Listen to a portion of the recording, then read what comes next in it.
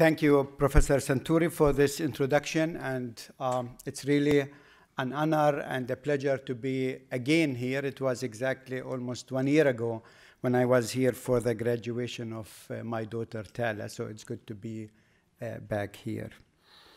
Um, you know, there is uh, no other region actually in the world where religion and politics uh, interact, collide, and conjoin like in the Middle East. The region I come from, called the Middle East, by the way, I don't like this Middle East because it's middle of where and east of what, you know? so it's only if you live if you live in Europe and you look at our region, you will call it Middle East. So I mean, there you already can see some colonial perspective in the naming. Uh, however, that region is the cradle of the three monastic religions Christianity, Judaism, and Islam. But also, uh, it is actually a region with diverse ethnicities, religious minorities, and multiple identities. And it is a region that was very much marked by over a century of colonial history conflicting imperial interests, and the Israeli Palestinian conflict. In this lecture, um, I will try to uh, analyze actually three um, uh, cases uh, that I would like uh, to focus on. Um, uh, contemporary case studies uh, that all will show the use and misuse of religion in context of political conflict. The first uh, case study I will look at is the latest debate at the United Nations Security Council regarding the Israeli settlement in the West Bank and East Jerusalem. It's only like uh, that was in December last year. Uh, in the second case study, I will look at the interaction between religion and state in the Arab world in relation to power. And in the third, I will look at the role of Christian Zionists uh, in the current political context. So, just to be balanced, the first case will focus on Jewish Israeli case, the second will focus on an Arab Islamic case, and the third on an intra Christian Western case. After analyzing these uh, three case studies, um, I will try to draw three conclusions um, from a liberation theology point of view. So uh, let me come to the first, which is religion in the context of occupation, the first case study. Just to give you a short background so that um, those who are not familiar maybe with, with our conflict can follow me. Um, the Israeli Palestinian conflict is the longest ongoing uh, conflict in modern history. Uh, this conflict actually has its root not in Palestine, but in Europe. It was exactly actually uh, 100 years ago, 1917, that Lord Balfour promised Palestine to uh, European uh, Jews. I always like to, under, to, to underline it wasn't the Lord God who promised Israel the land, it was the Lord Balfour. And believe me, there is a big difference between both, you know? So, uh, and why this promise, 1917? Um, it wasn't out of religious conviction so much, but actually it was more uh, part of imperial uh, politics of Great Britain. Um, so European Jews were supposed to go to Palestine, colonize the land, helping the empire to expand there. But also it had another uh, uh, reason because, uh, you know, uh, uh, the whole issue of the assimilation of Jews in Europe somehow uh, was not going the way many people wanted in Europe. And so this was a way actually to solve this issue by sending European Jews to Palestine. So, but so that's it's it's a political project actually, and but that political project had also some religious connotations because uh, for many uh, Christians in uh, Great Britain at that time, um, they were uh, actually uh, waiting for the second coming of Christ, and they thought that establishing uh, the state of Israel is a precondition for Jesus to uh, come back. Um, we, I would have loved to hear, uh, to have heard yesterday from Professor Ami something about that because, I mean, that's part of, of uh, evangelical theology.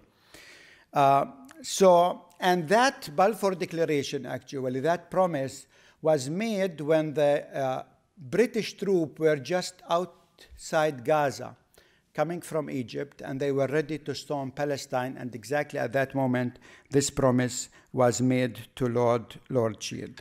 So, the colonization of Palestine was one outcome of the uh, First World War. Fast forward, the establishment of the state of Israel was actually uh, something that came after the Second World War. And it was exactly 70 years ago that the United Nations adopted uh, the, um, um, uh, the resolution to, to divide Palestine into two states, uh, one Jewish state and one Arab state. And the Jewish state chose actually a biblical name, Israel, for itself. And the branding of the Israeli state as biblical Israel accelerated after 1967 when Israel occupied the West Bank, including East Jerusalem and the Gaza Strip. This is, I live in Bethlehem, so uh, this is when Bethlehem was occupied by Israel. I was at that time five years old. The name chosen for that war, 1967, Six Day War, uh, has also a biblical connotation like God, who finished creating the creation in six days, Israel was able to finish its job by occupying the rest of Palestine before they can rest. However, 1967 didn't bring rest neither to the Israeli nor to the Palestinian. Uh, on the contrary. And the longer the conflict remained unsolved with human intervention, the more it started getting religious connotation. So for a long time, it was a political conflict. But when political conflict cannot be solved politically, more and more people resort to religion. And so the outcome of the 1967 war gave a boost to Jewish religious nationalism and to Messianic extremist Jewish group within Israel who started settling, building settlements, and settlements are big cities actually in the West Bank, claiming it as, as Judea and Samaria. So we see, you know, religious uh, fundamentalism uh, expanding after 67. We see political Islam, the same thing after 67, after the Iran Revolution. And Christian Zionism also experienced a revival after 1967.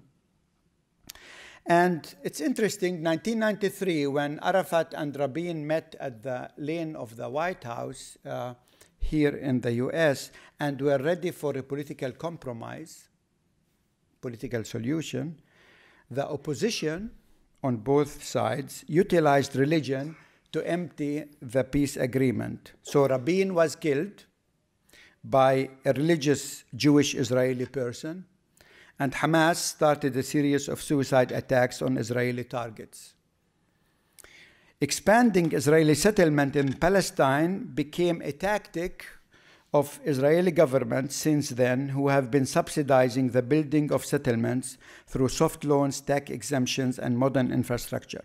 So this is just the background for the first case study I want to make. So the expansion of settlements in the West Bank, maybe you hear about it here in the news. This is what I will focus on. So on December 23rd, two days before Christmas last year, the UN Security Council met to discuss the expansion of Israeli settlement in the West Bank and East Jerusalem. A resolution 2334 was adopted by 14 countries in favor and a US abstention. The resolution reaffirmed the Security Council stand that Israeli settlements have no legal validity and constitute a flagrant violation of the international law. The full text read as follow. I will just read um, portion of it. The Security Council um, so the Security Council reaffirming its relevant resolutions guided by the purposes and principle of the Charter of the United Nations and reaffirming inter alia the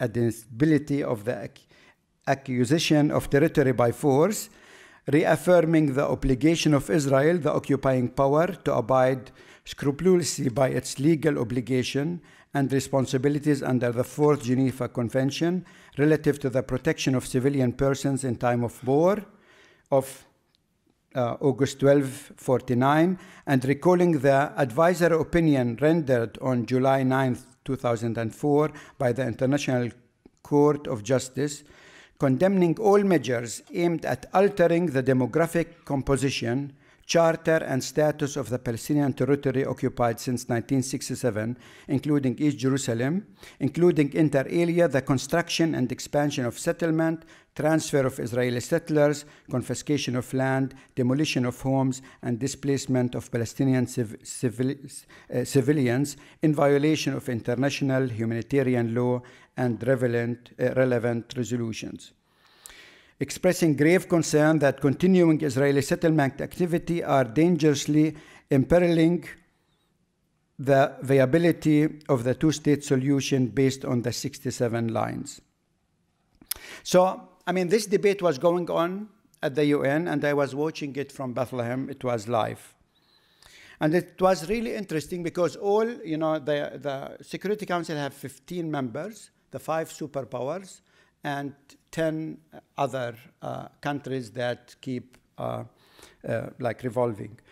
And um, so all 14 council members uh, were talking and made their speeches based on Fourth Geneva, uh, Geneva Convention on international law and how important it is to abide by them.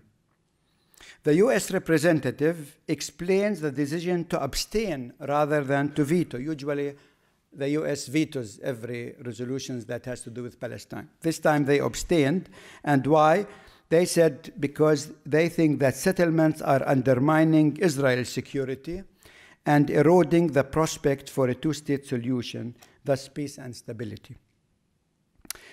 Once all 15 Security Council members were given the floor, it was time now for Danny Danon, the Israeli representative to the UN, to address the Council, and this is what he had to say, and this is our case study. He's saying, um, this council wasted valuable time and effort condemning the democratic state of Israel for building homes in the historic homeland for the Jewish people. We have presented the truth time and again for this council and deplored you not to believe the lies presented in this resolution. I ask each and every member of this council who voted for this resolution, who gave you the right to issue such a decree denying our eternal rights in Jerusalem. We overcame those decrees during the time of the Maccabees, and we will overcome this evil decree today.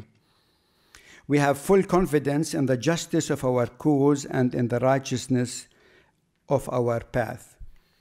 And then, I hope it will work. We overcame those decrees during the time of the Maccabees, and we will overcome this evil decree today.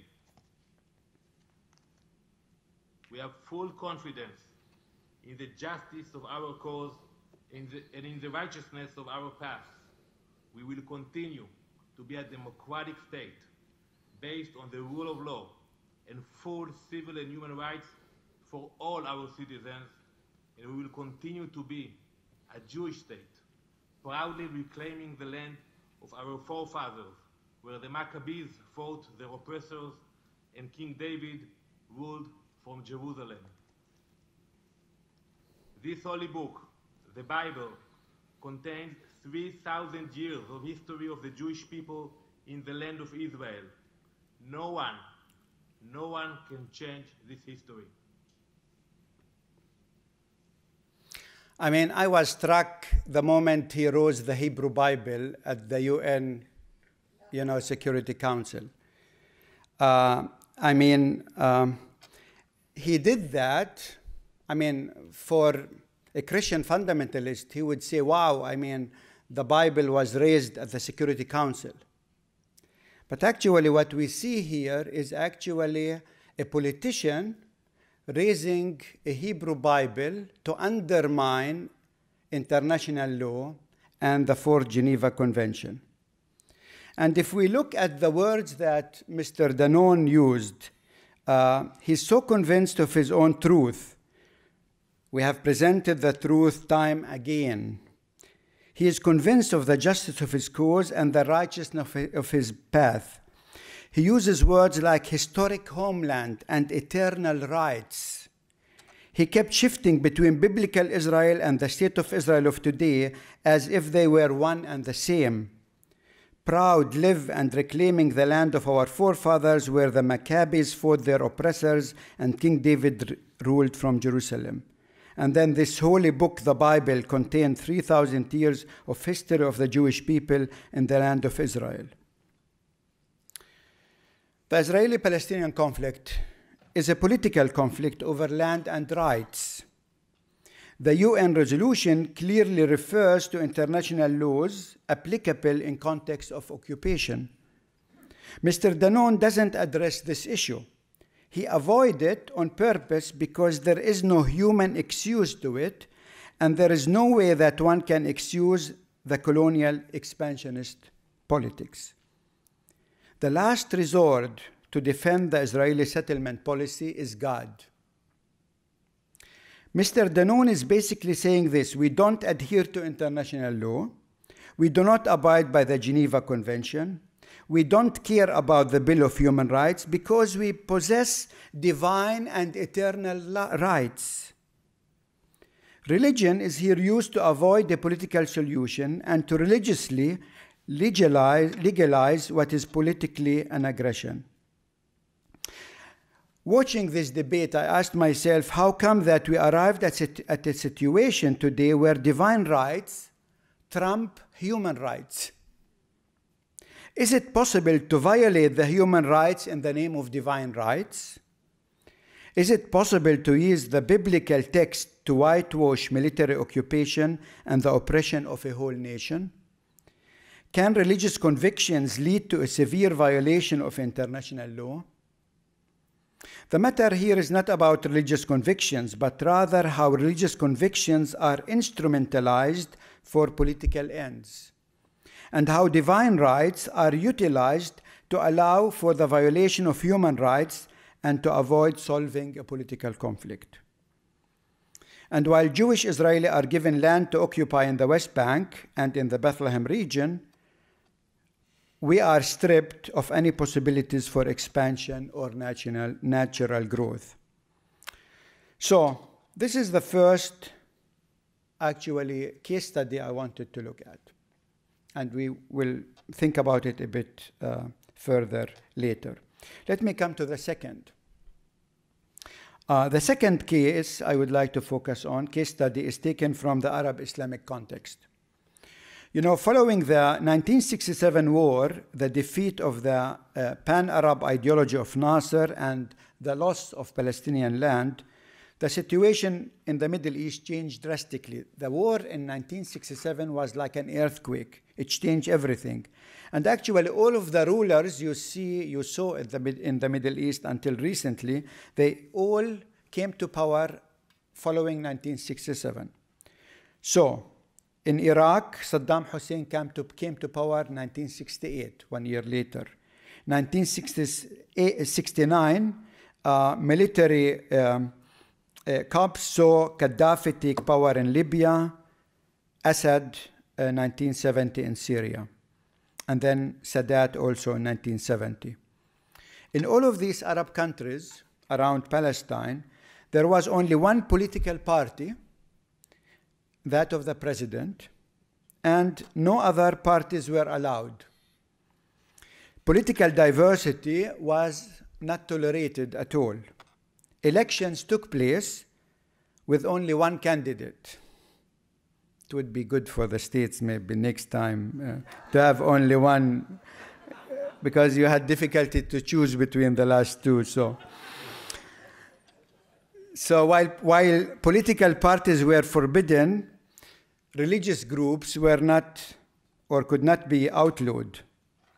The rulers used religious groups over and against each other. So Saddam uh, sided with the Sunnis, Assad with the Alawites, Sadat with the Muslim Brotherhood.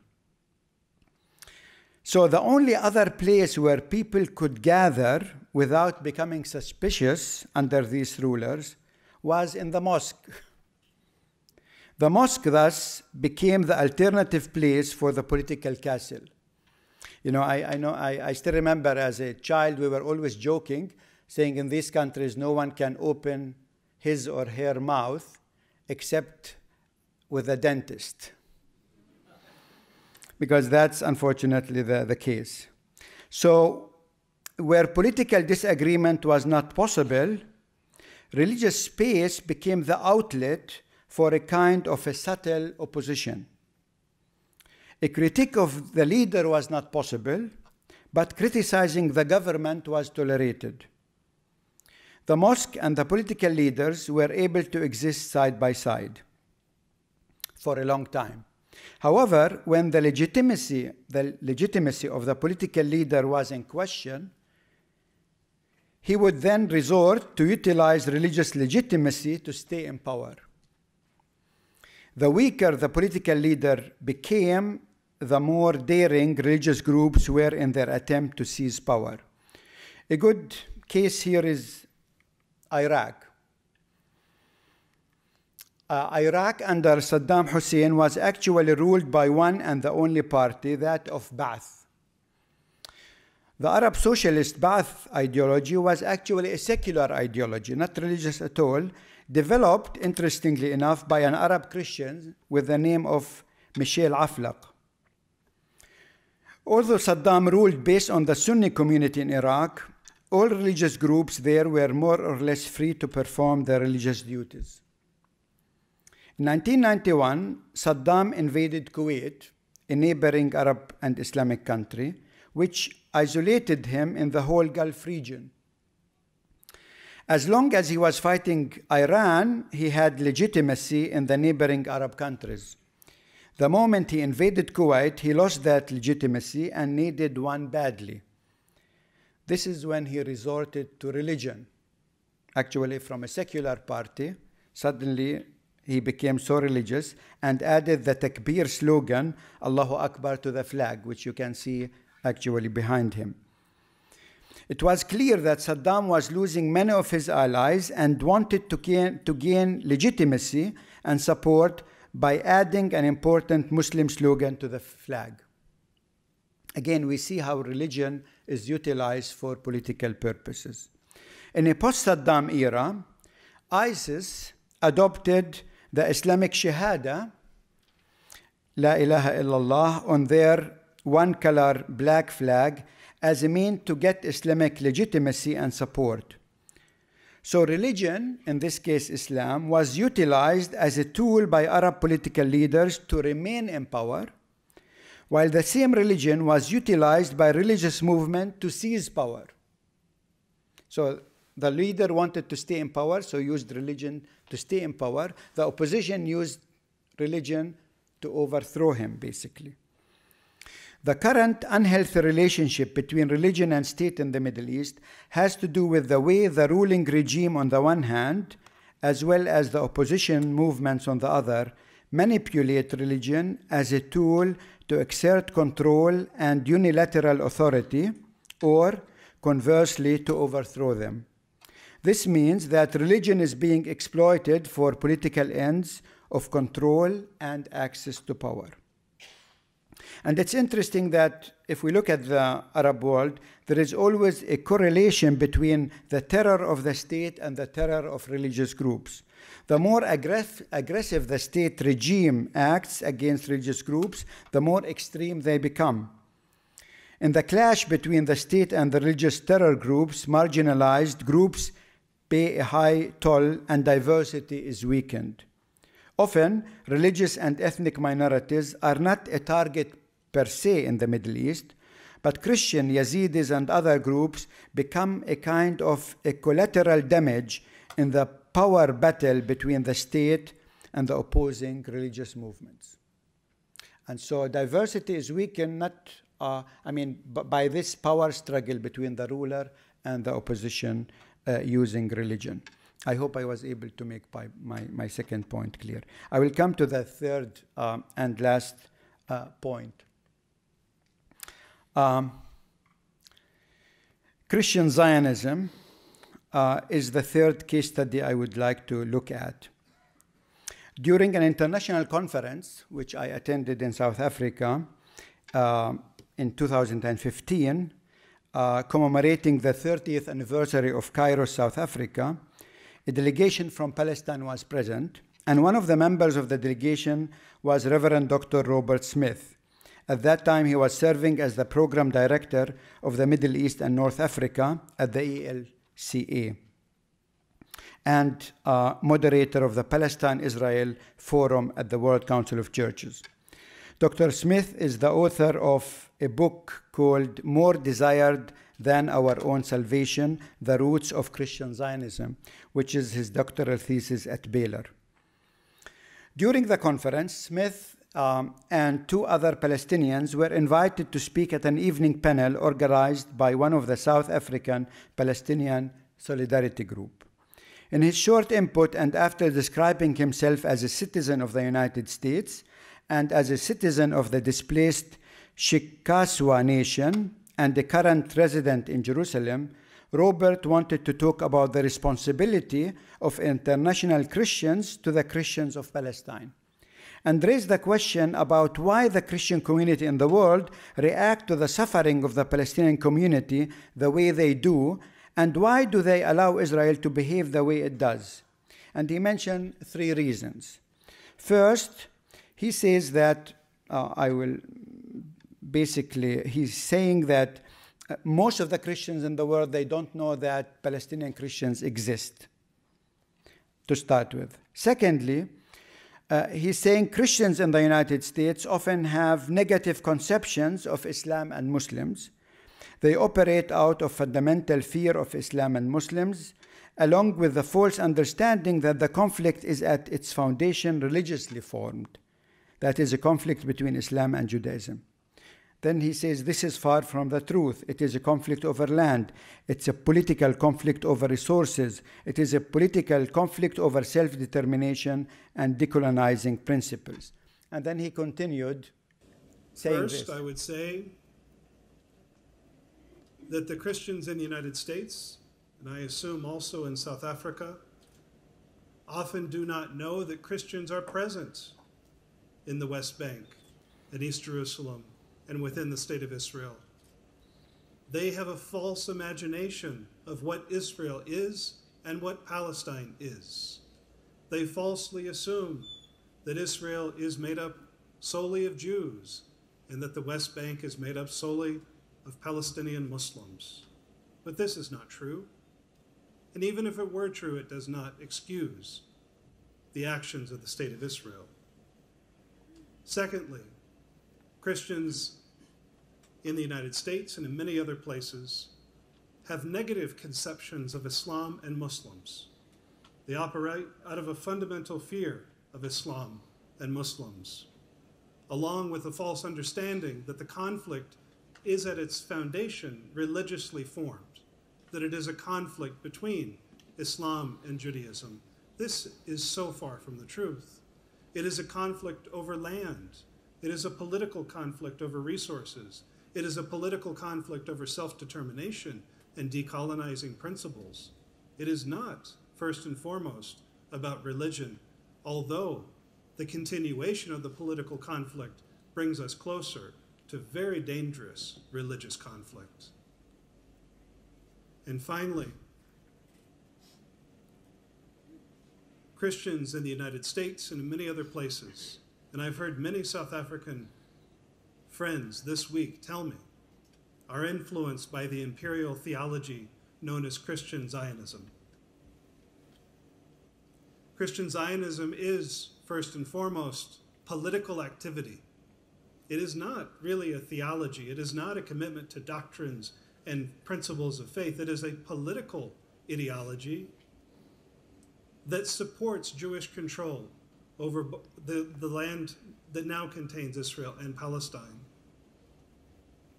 Empire seeks to divide us from one another. Empire seeks to divide Palestinians from one another, dividing family against family, neighbor against neighbor. But our shared struggle and our shared resistance unites us and disrupts the, the desires of empire, tells empire that we will not be divided, that we seek freedom for all. It is essential that all of us understand that the Israel of the Bible, the ancient Israelites, are not linked in any substantive or material way to the contemporary modern state of Israel. The biblical narrative of Israel has almost nothing to do with contemporary Israel other than the intentional manipulation of sacred text to justify a political project. We must reject the theological justification for the present acts of the state of Israel, and we must instead draw from our sacred texts, the Quran, the Torah, the Tanakh as a whole, and the Christian scriptures to instead inform resistance to empire that is faithful to our traditions.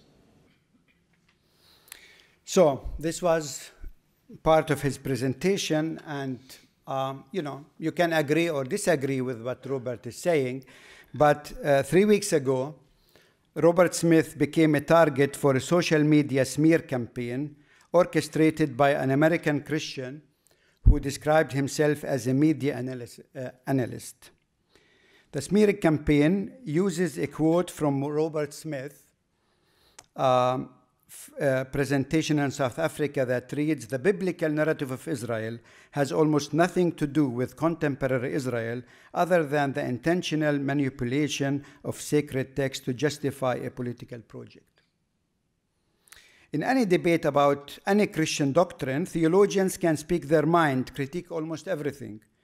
I mean, one can question the existence or non existence of God, many theologians do that, the divinity of Christ the histor- histor- historicity of any biblical story, but dare anyone question anything regarding the state of Israel? Because there are watchdogs. It seems that when it comes to the issue of Israel, neither religious disagreement are allowed nor diverse political opinions are tolerated. Even worse, every credible theologian or researcher who dare to question the religious aura of the state of Israel become a plausible target for all kinds of Israeli watchdog groups. And the Israel lobby is very clever because they don't do the attack themselves, they send these Christian Zionists to do the attacks, uh, like we see here. Um, if one follow the smear campaign done over two days, one would notice the following. The campaign is intended to scare Robert so that he starts censoring himself. By mentioning Notre Dame University, this is now the current employer of Robert Smith, in the campaign, the university is dragged into the issue and will either exert pressure on, on Robert or even fire him. I know some of you experience that in, in your colleges. It's not something that it's done only here. One religious or political view on Palestine can therefore cost people their job, reputation, and come close to a character assassination. And I know what I'm talking about because, you know, I receive lots of these death threats all the time. But last but not least, there is no room for dialogue or diverse opinion or academic or political disagreement at all. The message is not debated here, but rather the messenger, the messenger is targeted. And this is the tactic of many Christian Zionist groups against Christian again. This tactic comes close to radical Islamic group that cannot tolerate modern Muslim critical thinking by declaring them as kafir, that is apostate, and thus deserving the death penalty. Killing as well as character assassination in the name of God becomes a religious duty. It's something, I mean, that really has to make us think about, about what's happening here. So these are quickly the three case studies, and let me come with three short conclusion out of uh, liberation theology um, concepts. The first point I would like to make is on divine uh, and human rights, divine rights and human rights. In context of conflict, as in the Middle East, groups often utilize divine rights to deny other equal human rights. We find these groups within all three monotheistic religions. These are not only Islamist groups in Iraq and Syria, but also Jewish groups in Israel, as well as Christian Zionists. Two forces are currently violating the human rights in our region so called security states who don't allow people to move, to have an opinion, to publish controversial books or question policies, or simply to think critically, and religious movements who leave no room for people to choose their beliefs and to breathe freely. Both forces, the state and the religion, create system based on fear. The fear of the state and the fear of God become two sides of the same coin. A society that is based on fear rather on freedom, uh, uh, on freedom kills the soul and the spirit of its people, their innovation and their creativity. There will be no future for the Middle East until we break out from the bondage of the security state as well as of oppressive religious laws to a wide open space where human life and security is protected human security is protected, where freedom is free to blossom, and where human rights become sacred. For us as Christians, a spirituality of liberation is a spirituality of creation and incarnation. Spirituality of, of creation means all people are created equally in God's image. In fact, all three monotheistic religions could agree on this, theoretically. As Christians, we believe also that in Christ and in Bethlehem, God became human so that all human lives is sanctified. Such a theology of liberation is essential in our region today. But in today's world, we adhere also to the Universal Declaration of Human Rights that clearly states that all human beings are born free and equal in dignity and rights. I mean, we cannot go back to a time before the Universal Declaration. It should not be acceptable by religious or political terms to violate human rights in the name of divine rights or to play God against the humans. Groups who do that are misusing the scriptures for their own political ideology. The scriptures and the Human Rights Charter are there for one and the same reason to defend the meek, protect the rights of the weak, put limits to those in power, and to make sure that the state adheres to the laws. So both religion and state have to ensure that the power of law and not the law of power prevails. No religion or human legislation is entitled to give the Israeli more rights than Palestinians. Muslims more privileges than Christians, or men higher wages than women, although I know this is done. Equality is something we cannot compromise on, neither religiously nor secularly. So that's my first point. My second point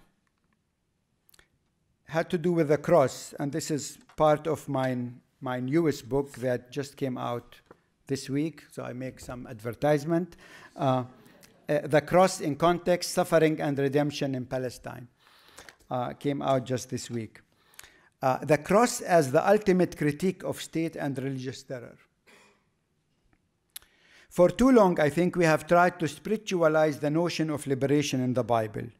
We replaced liberation with salvation, and the cross became nothing but atonement.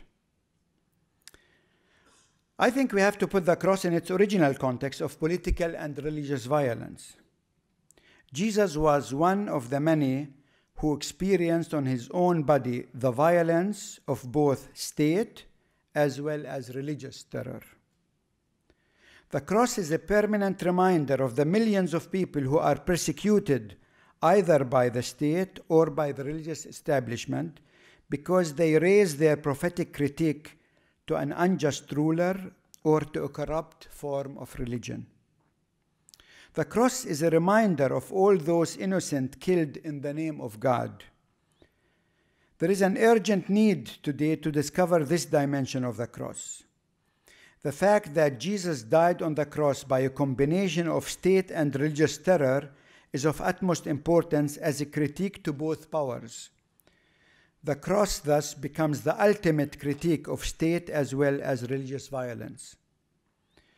The cross becomes a mirror that shows God's vulnerability and the cruelty of political and religious behavior. For the peoples of the Middle East who are living either in context of Israeli occupation or in context of political despotism or affected by the daily use of religious extremism, this dimension of the cross is of utmost importance. Both religion and the state must be under the rule of law as a mean of protection from political despotism on the one hand and from tyrannical and repressive religious extremism that bans what it dislikes and legitimizes what suits its ambitions on the other hand. The role of the state is to safeguard the right of all its citizens. On the other hand, religion has an important role to inspire its followers to be compassionate. Securing human dignity and well being of the people is at the core of religion and the ultimate goal for statehood. There is a dire need for a prophetic and dynamic faith today that does not run away or hide from the challenges of the society, but instead engages the society for the good of all citizens.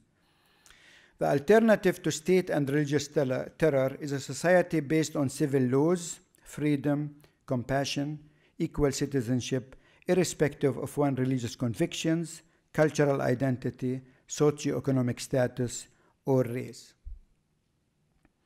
And last but not least, a vision for a world marked by diversity. The story of Pentecost in the book of Acts, chapter 2, is imperative to understanding the spirituality that is needed in the Middle East because it provides a counter narrative to the logic of the oppressive regime.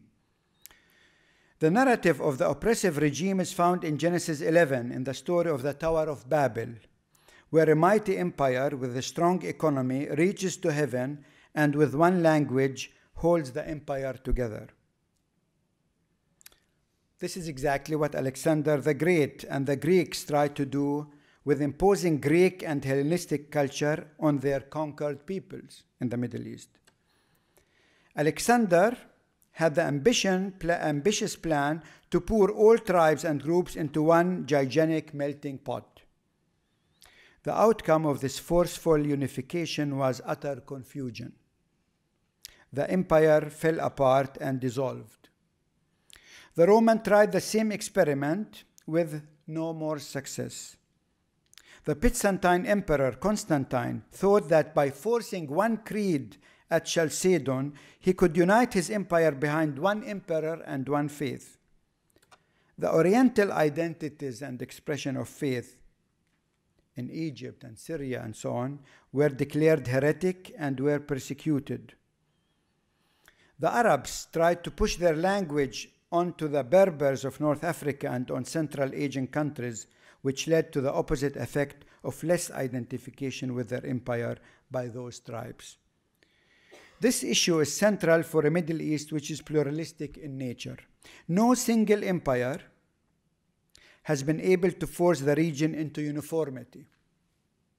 There was never one single Catholic church that monopolize the Christian faith in the Middle East, like in Europe, for example, but rather national churches, Copts, Syriac, Maronites, Greeks, etc., each worshipping in their own native language and possessing, as they do today, a distinct cultural identity. The same is true for Islam. It too has different expressions according to different regions Shiites, Sunni, Alawites, Druze, etc. All efforts to forcefully unify them have come to note. The Middle East continued to be one of the most diverse regions in the world with multiple ethnicities, religious affiliations, and plural identities.